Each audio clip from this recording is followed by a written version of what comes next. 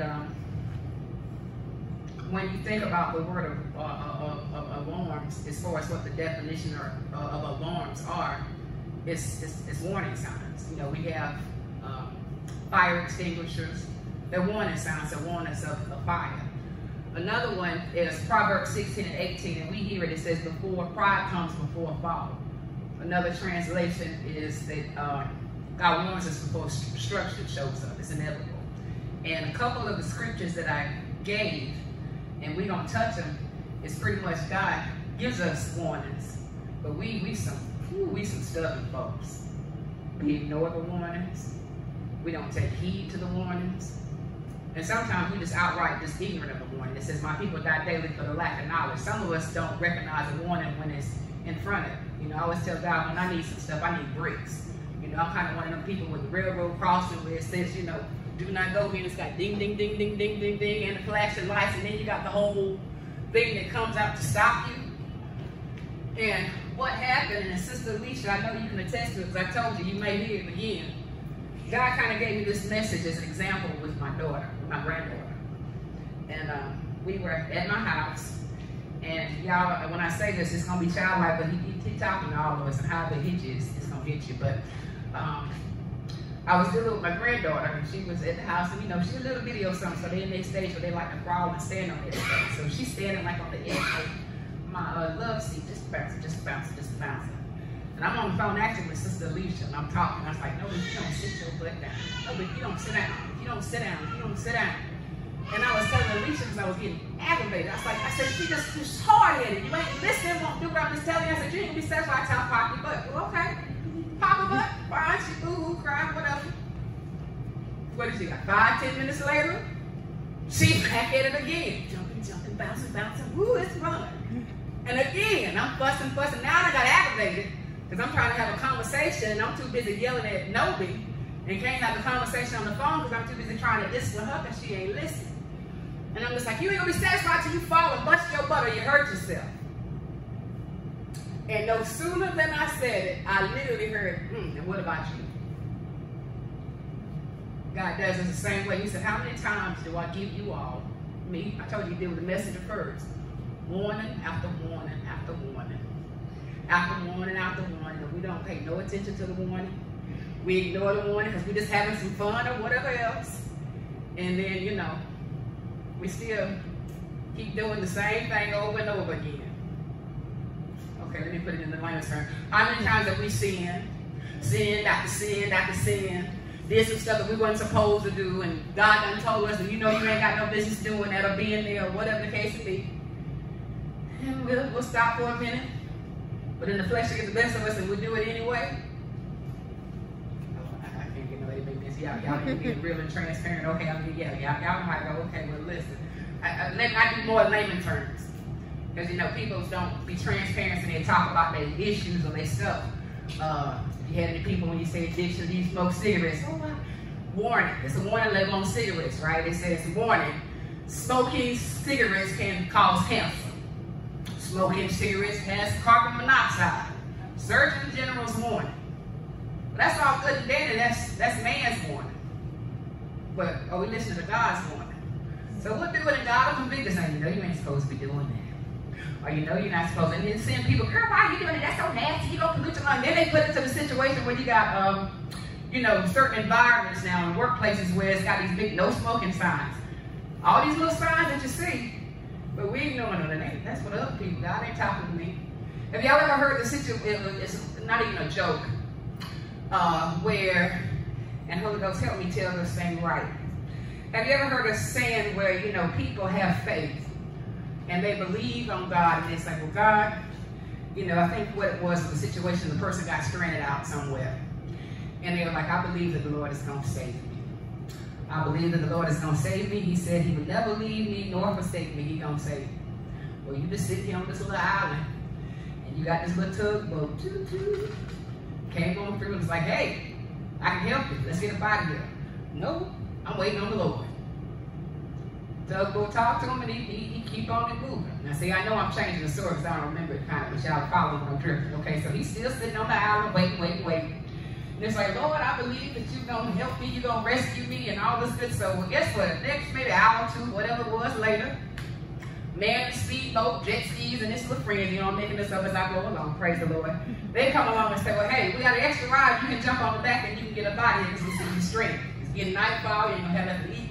Know, island got all kind of whatever. Man's like, no, I'm waiting on God. I'm gonna, I'm just gonna wait. He said he's gonna do it. Now you believe in God said he's gonna do what he's gonna do, and you sitting here, you wait, you wait, you wait. All right, now third time roll around, it's a big old cruise ship. Mm, you know, they docked on the island for whatever reason. And they see this man's like, well, you ain't got to stay here. Come on with us. You even got a whole bunch of people. Yeah, come on, everything all right, blah, blah, blah. Man on that island didn't go. He blocked it. So fast forward a long story short, the man died. So when the man went to heaven, you know, he got a bone to pick with, with the Lord. He's like, listen, now you said you never believed me ever say me, and I was stuck down there on that island all this time, and you never showed up. And more say, as the story goes, and translate what the, the story goes, it's like the Lord told him, it's like, listen, I sent a tugboat after you. I sent some party friends, some speedboats, and everything else after you. And I even sent a whole cruise ship with other people, and you didn't get on it. So who's at fault? Me or you? And my point of how he gave that scenario is God will give us signs, he'll give us warnings, and we'll ignore them. We do it with, we do it relationships. You know, they say that joke ain't too good. You have somebody, you know, you got to do it bad mouth. I understand that. But some God is consistent about some stuff. He constantly tells you, nah, that might not be the right one for you. But we lean to our own understanding. And we trying to figure out some stuff so we don't listen or we ignore them signs. You know, one of the things that God always uses me to um, kind of give an example, and I was going to be funny, but I didn't want to tell nobody. I said, you know, y'all got some medicine in your pocketbooks, Tylenol or whatever else. And there's a big warning label on there. You know, it may cause drowsiness. Do not operate equipment while taking this medicine or under the influence of this medicine. You know, all these little symbols. And so because we get, huh, I don't know, I'm gonna have a little glass of wine and see you know how this, but the instructions on the bottle told you not to mix that. But because we so prideful in ourselves and think that we know better than the physician or the medical staff or whatever the research, we basically playing Russian roulette with our life. And we may or may not, it may not have, and see, some medicines don't have the same effect. I mean, I'm just making a point. I'm just hoping, you know, kind of laying the foundation where y'all can get what I'm saying. But we take it upon ourselves and we kind of push the envelope and do it anyway. Okay, y'all follow me so far because I'm, I'm, like, this is how God gave it to me. I'm just like, ooh, Lord, have mercy. We're just hard-headed. But we'll ignore the warnings. We'll ignore the warnings in relationships. We'll ignore the warnings in our health. You know, and I, I can say this because I'm a beautiful, voluptuous woman. Mm-hmm. But they say you eat too many cheeseburgers and hamburgers and everything else if you don't take care of yourself and do exercise properly, can clog up your arteries, can cause you health issues, can have heart attacks. But God is merciful. And see, sometimes it's in that lack of our knowledge. Well, maybe you didn't get that part information, or maybe it was this. And sometimes it ain't food, it's stress. Sometimes it's staying in a situation longer than what you're supposed to and not leaving when you're supposed to that causes you. Team. Hear me. God saw the destruction. Y'all know the story with, with Lot, right? Sodom and Gomorrah was all kind of craziness going on and happening up in there. You know, we always go to the homosexuality, everything on that. You know, y'all do know homosexuality on the man of quote unquote sin to hell, right? We get caught up on this one thing, lies, deceit, murder, all, all the rest of that stuff. But anyway, so God sent two angels to destroy Sodom and Gomorrah. Now, at the beginning, I said it was in Proverbs 16 and 18. It says, Pride comes before a fall. God warns us when it says, Warning comes before destruction. Told you at the beginning, the title of the message was Sound Alarm. It says, Warning comes before destruction. God told Lot, by way of the angels, when he met him, he said that I'm going to destroy this place. Get you, your wife, your people, your children up out here. That was the first example. God gave me another example with Noah. He told Noah that he was going to flood the earth with water. That's in the beginning, that's in Genesis. He said he was sick of the world, the world became corrupt, and that man had basically corrupted it. and he was going to wipe it out. But God warned Noah. He told him, I'm going to destroy it by flood, and this is what I need you to do. I need you to build me an ark. And he gave him, I think it was 350 cubits. He gave him the instruction of what to build the ark. And then he told him uh, to get two of every uh, creature or creation and to put in the ark. Okay, that's the second example. What it was, it was couple of. The other example is, see, sometimes we'll say some stuff and it's like, well, how does this relate to me in the Word? I gave you the little worldly version talking about my granddad. But those are the two I said, Noah, Noah and Lot. Let me tell you something. When it says warning comes before destruction, I gave you Ezekiel for a purpose. And Lord, help me. It's because we all have a mandate. We all have mouths. See, a lot of people ain't gonna say that because they say you're not a preacher, whatever else, if you're not standing behind this pulpit. Each one of you are a mouthpiece of God. Each one of you has an assignment. Each one of you has been given a task. And in that midst of that, each one of you have been mandated to sound the alarm and to tell people the truth, to give them warning. And when I started out with Ezekiel, it says, if you don't warn them, the blood will be upon your hand. It said Ezekiel, he was a watchman over Israel. Israel was a rebellious people. Ain't we rebellious? We rebellious. Parents and children, and I'm gonna say this because they hit me that way. Kids, y'all get mad at y'all mamas and daddies, and like we don't know squat. We just telling y'all stuff at home. You know, you don't want me to live. You don't want me to do this. I can't go nowhere. I can't do this. I can't do that. You just old. You just don't know what you're talking about. On your own understanding. Y'all just miss everything that we're saying.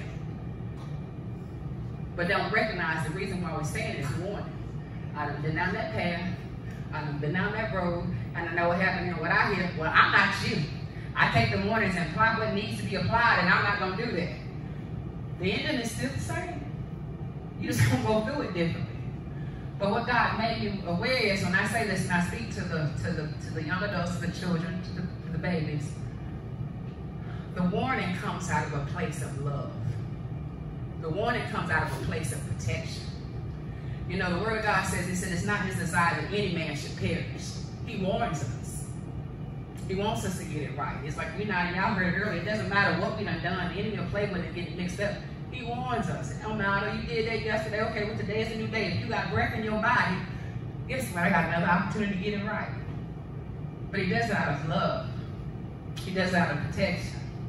So he warned Noah, I'm going to destroy the earth.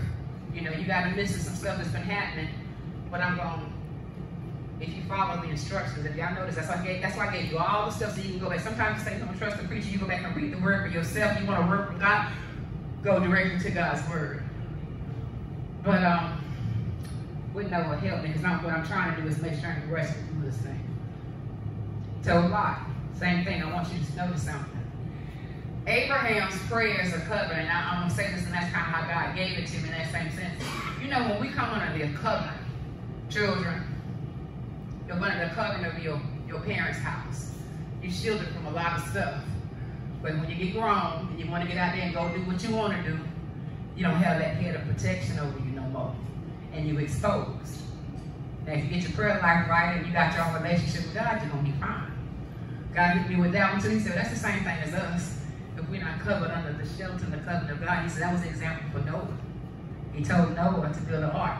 He followed the instructions, and his household was saved. There's a scripture that says, if God be saved, my whole household will be saved. Sometimes it ain't about everybody else, it's about us just doing what we supposed to do, and our household will be saved.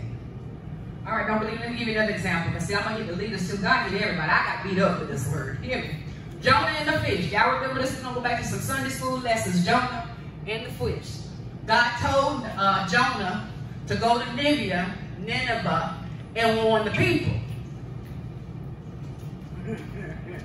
How many of y'all oh, got to tell y'all to do something? I need you to go say such and such and so and so. Well, I need you to go either plant a seed or give such and such. Whatever way you want to do it, God gave you some instructions to do it and you wrestle with it. You know, I may have told you to go give so and so $50. I ain't giving them no money.